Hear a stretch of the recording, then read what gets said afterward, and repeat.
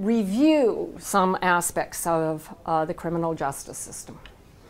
And um, oh, yeah, I mean, this slide is not going to be new to any of you, but in this slide, I really just want to remind you about the circuitry between um, structures important for reward, like the nucleus accumbens and uh, the ventral tegmental area that projects to the nucleus accumbens, and also areas such as the amygdala, which are important for regulating a variety of emotions, but in particular, uh, fear and uh, inhibition of action. And there, of course, is the septum and uh, the hypothalamus. And so there's this really, really dense connectivity between these areas. And what would be important, and of course, some researchers are working on this, would be to understand it in much greater detail. Now, in thinking about, I'll come back to the MAOA mutants. Uh, no, actually, I'll tell you about them right now. And I'm just going to give you the very fast story. I mean, a lot of this, as you can tell, I'm going skating over very fast. So, a number of years ago, uh, Terrie Moffitt and her group in New Zealand asked a very interesting question.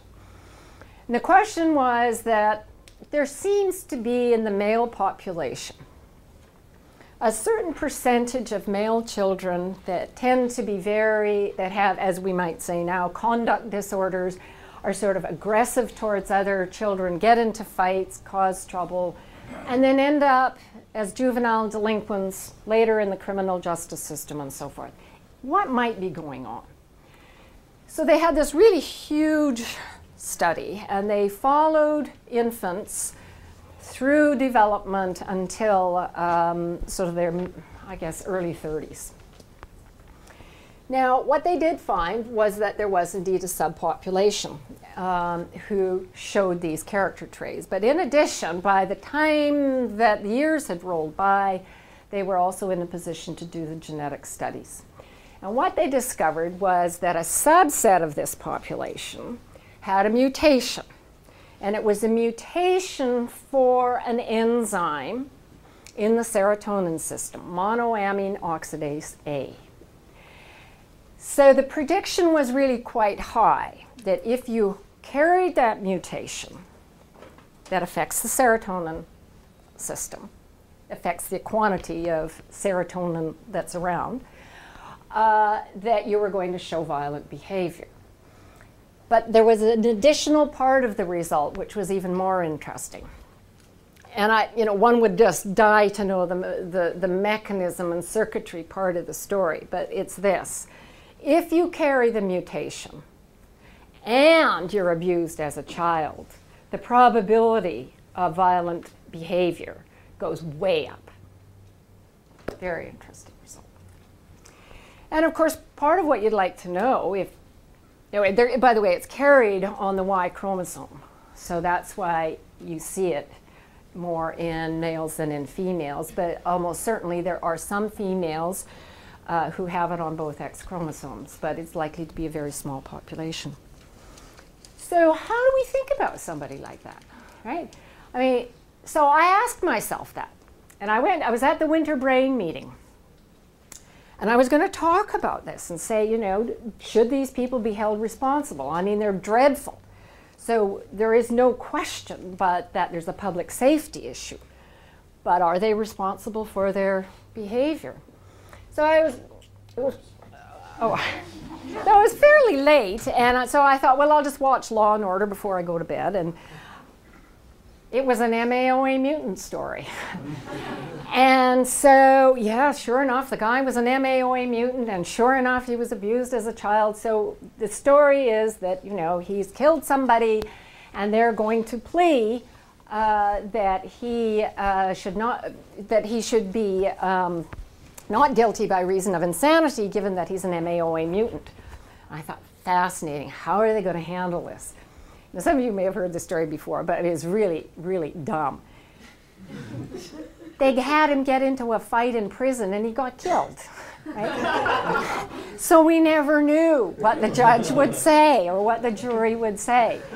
And I thought afterwards, you know, I thought, well, that's pretty disappointing. I really wanted to know what Law and Order would think about this, but it's a very tough case, and that's why they punted, of course. Is um, You know, if you had a son or a brother in that condition, be very tough. All right. So um, let me, in thinking about uh, issues of, of control, just remind ourselves of the modulatory systems that play a really, really important role in reward. And reward is increasingly going to be part of the story.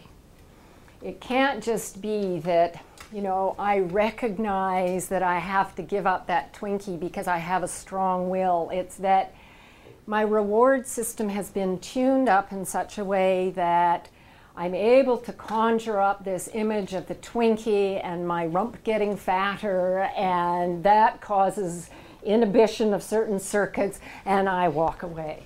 Okay? That's got to be something like roughly what's going on. So, we need to understand much more about reward circuitry, which is the dopamine system, but of course, that's not the only thing that dopamine does, about the serotonin system but the other non-specific systems that arise uh, from brainstem nuclei. But it's important too to remember that these non-specific systems have these extraordinary properties. They're not carrying specific information in the way that glutamate mediated responses do. They modulate, they upregulate, they downregulate, but they're absolutely critical. And here, of course, you see the nuclei within the brainstem from which the serotonin projections arise, and then they project in this very, very broad way uh, all over the brain. But notice in particular that these sorts of regions, right, medial, frontal, orbital, all these frontal regions are very heavily involved, are very heavily serviced, perhaps I should say, uh, by the serotonin system. So, in thinking along these lines, one of the uh, sort of conceptual tools that I helped myself to is the idea that if we don't want to think about free will in the folk psychological way, and we want to begin to think about self control in a more neurobiological, in terms of neurobiological mechanism, we might want to sort of conceive of it in terms of a parameter space. And what I've provided here is really quite crappy, but it will it conveys what I think is potentially a, a useful tool. And that is this that I of course am only showing three parameters here. I'm showing say levels of serotonin, amygdala frontal connectivity, what is disrupted for example in uh, the patients that the, the Damasios have studied.